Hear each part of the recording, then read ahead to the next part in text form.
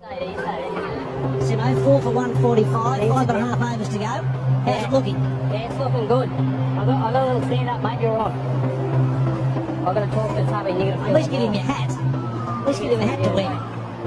Hits it down here, mate. You're on, right? Get ready. Sorry, mate. At least give him your hat. Try and hide him a bit, you?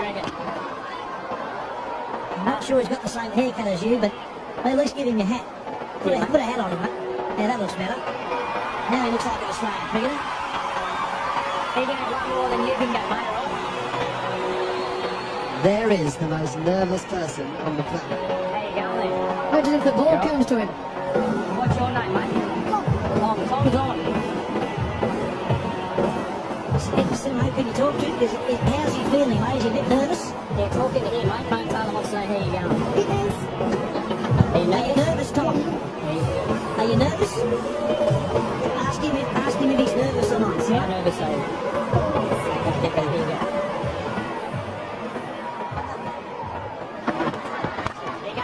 Oh, that could be a no ball, that.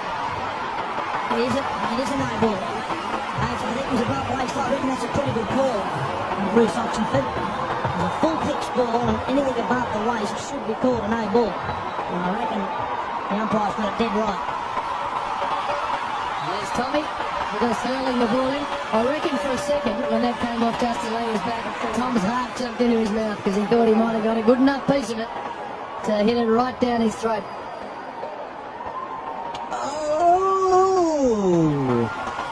Can you imagine if Tommy's under a fire and catches it?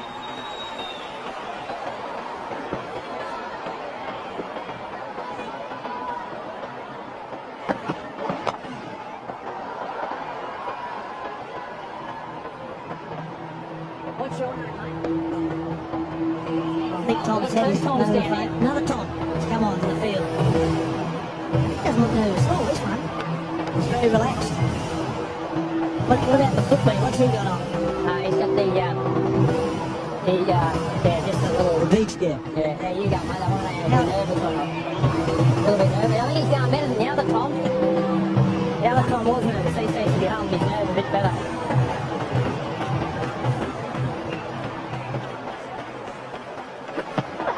Here you go, mate. That's right. So here we go. Go, Tom. Oh, no, he's missed it. He's missed it. He needs a few more lessons, I think. Big throw, Tom. Let it go. At it, mate.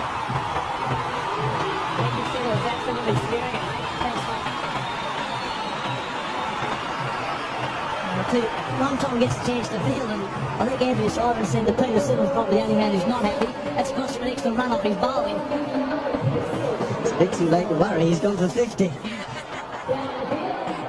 That's fantastic television? Look at this. Oh. Bring his boots next time, because you never know, do you? He hasn't done too much training with the Australian side. That's part and parcel of uh, fielding in the deep. He wasn't ready for that, was he? Tell you what, though, his mum and dad will be asking for the DVD. They'll tuck that away forever, those two boys.